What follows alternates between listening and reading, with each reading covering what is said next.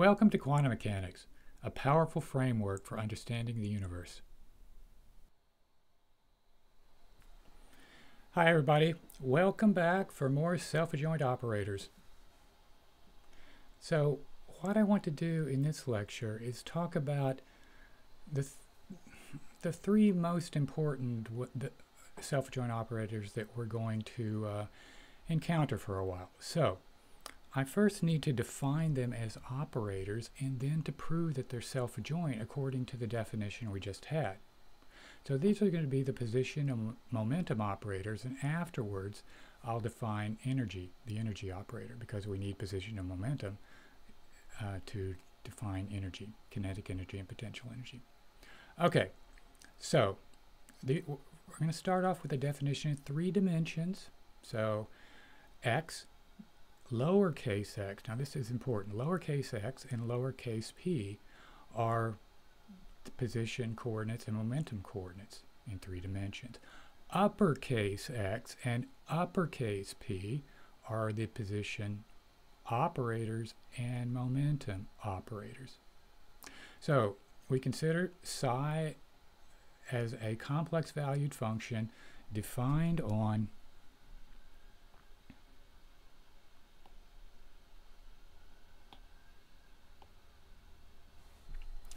defined on three-dimensional space, lowercase x. The position operator is nothing more than multiplication by the component corresponding to which co whichever coordinate we're interested in.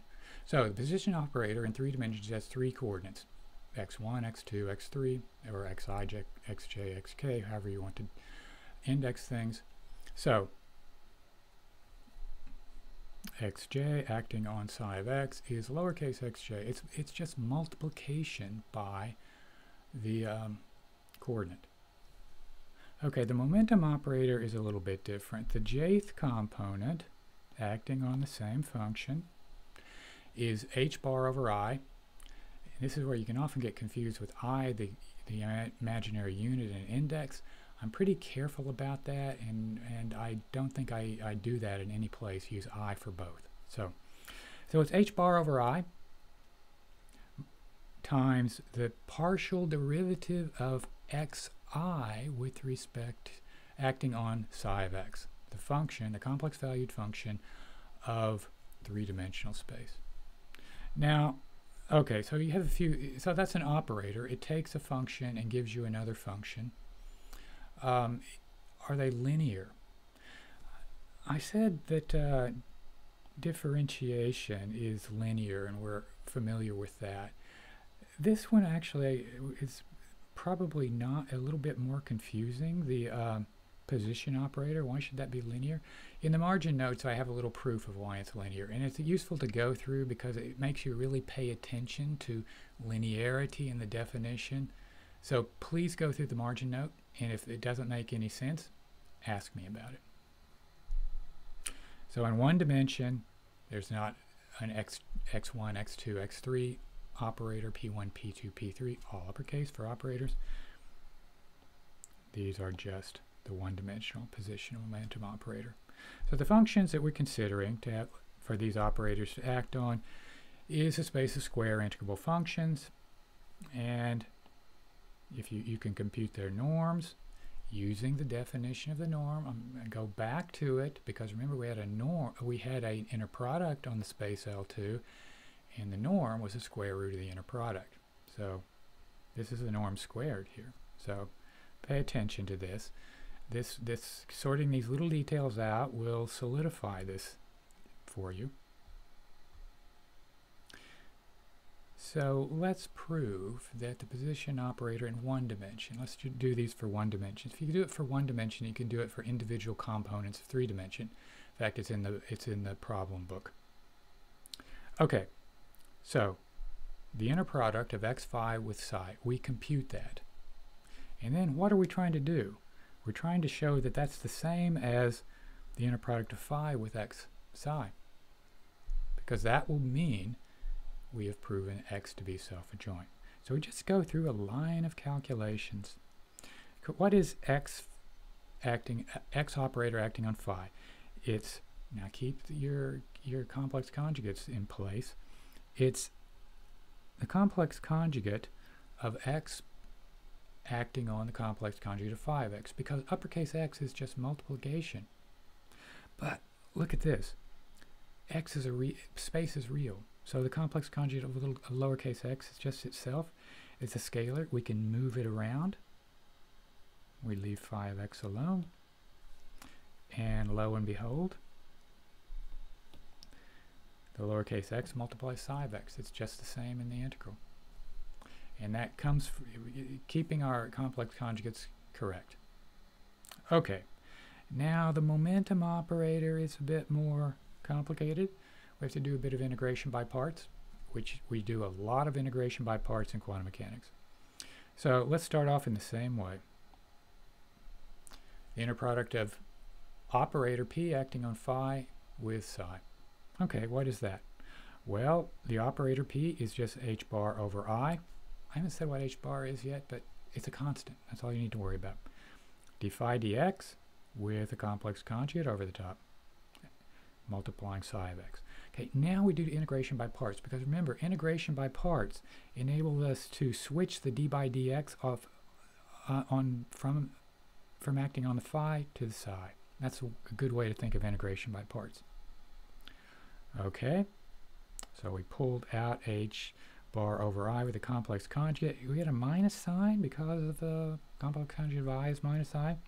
We do integration by parts and we have these boundary terms. Uh, okay, but let's ignore them for the moment. And look at what we've done. We've done exactly what we wanted to do, and we have the h bar over i with the minus. Go to the next line. And if those boundary terms were gone, if they vanished at infinity and plus and minus infinity, we would just be left with phi, inner product of phi with p psi. But in quantum mechanics, we're going to work with functions that vanish at infinity, and we're going to that we're going to require that for physical reasons, for normalization for one thing, or the integrals won't exist. So, some details here, but these are great calculations to understand how to do.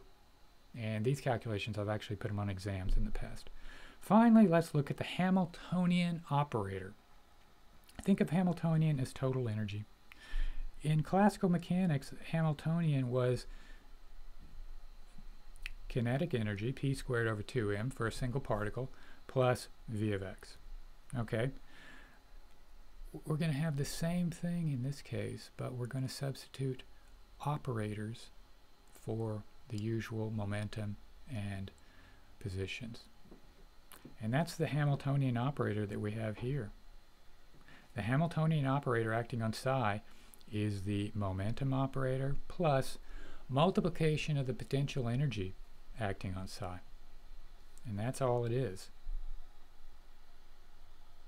Well, I say all it is. I mean, the journey to that realization was some journey. Now, is it self-adjoint? Yes, it is. Why? Well, we take the, the adjoint of kinetic plus potential, and one of the properties we're going to prove is the adjoint of the sum is the sum of the adjoints, and the adjoint of the product of the operators is, is the product. And we've already proven that P is self-adjoint, so kinetic energy is pretty easy. But now what about potential energy? Ah, well, does this equal this. So that the potential evalu energy evaluated on the adjoint of the position operator is equal to the potential energy evaluated on the adjoint. We're going to introduce that as an assumption for the potential energy functions that we look at. Okay. So this is useful. I went through this rather quickly, but it's useful to think about. We're going to come back to it over and over. We're going to think about Hamiltonians, kinetic plus potential energy. That's all that means if you didn't have classical mechanics 2 in the second year. And we're going to take those functions and we're going to replace coordinates of momentum and, and position with the corresponding quantum mechanical self-adjoint operators. And then we're going to do what? Oh, that's coming. That's coming. So, hopefully,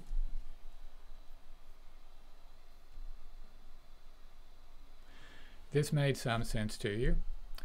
This concludes most of the section in chapter 1 on self-adjoint operators and um, and eigenvalues and eigenvectors. But in the next section, we're going to introduce Dirac notation, and we're going to redo all of this stuff in this really cool notation, which is built for adjoints and inner products.